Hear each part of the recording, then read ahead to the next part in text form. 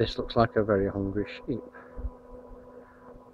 It looks like a tree climbing sheep.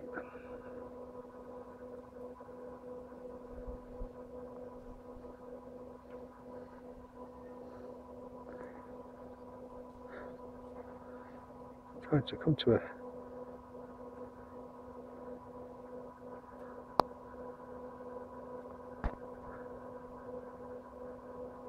try the other one.